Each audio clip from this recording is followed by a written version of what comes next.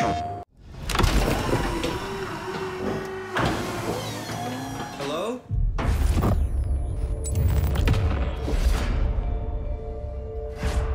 The hell is this place? How did I get here?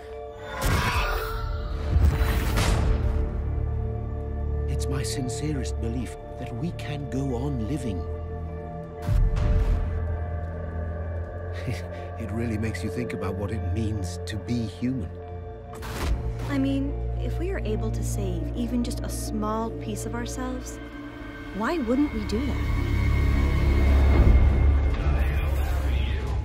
My name is Simon. Do you know anything about this place? Oh, you knew. Look, I'm obviously hurt.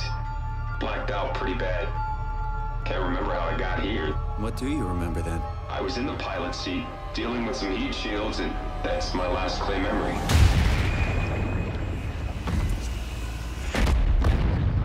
The hell? How is this possible? Are you human?